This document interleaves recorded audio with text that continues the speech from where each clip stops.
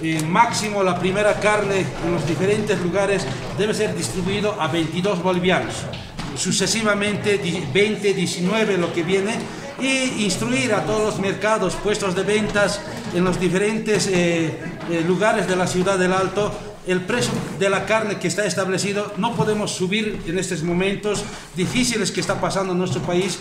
Esta notificación se va a entregar a todos los viales de distribución tanto de pollo, pescado, carne, bovino, porcino, para que ellos puedan dar también cumplimiento, porque esta notificación ya es